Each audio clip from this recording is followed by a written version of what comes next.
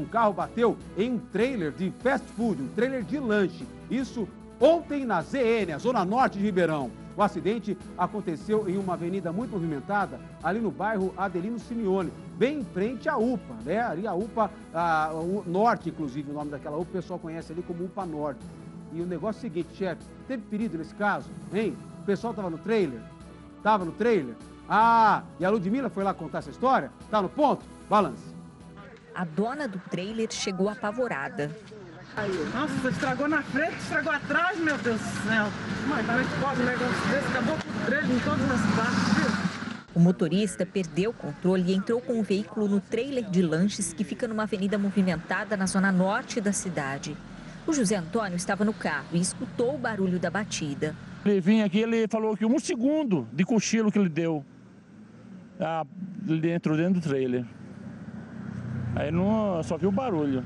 Aí todo mundo chamou a, a UPA, acionou a UPA, né?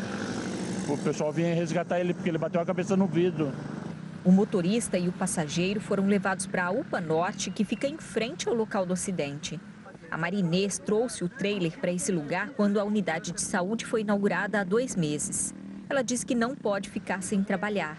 Não sabe o que vai fazer tem problema nos dois joelhos e na coluna. Eu só trabalho nisso aí porque tem que trabalhar. Eu não consigo trabalhar mais em lugar nenhum. E o movimento ainda tá ruim por cima. E agora com esse prejuízo aí, não sei nem o que, que eu vou fazer disso aí.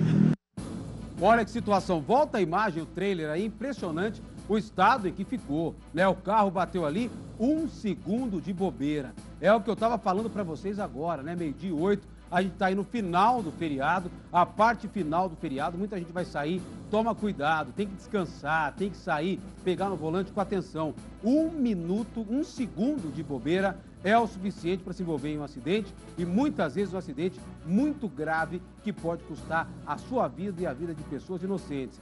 Graças a Deus, você fala, Tiago, ela está chorando, está desesperada, mas eu tenho certeza que ela vai se reerguer, vai conseguir ajuda. Né? O pessoal da prefeitura está em casa assistindo assistência social, dá uma força para ela, indicar os caminhos para que ela consiga reformar o trailer e voltar a trabalhar. Mas olha, ainda bem que são apenas danos materiais, porque se fosse um horário mais movimentado, um horário em que o trailer estivesse aberto, que as pessoas estivessem ali comendo lanche, ou até essa senhora que estaria ali na chapa fazendo os lanches, ela falou, tem problema no joelho, né? Poderia ser muito pior. Graças a Deus não foi, e eu tenho certeza que em breve esse trailer vai estar reaberto ali em frente à UPA Norte, em Ribeirão Preto.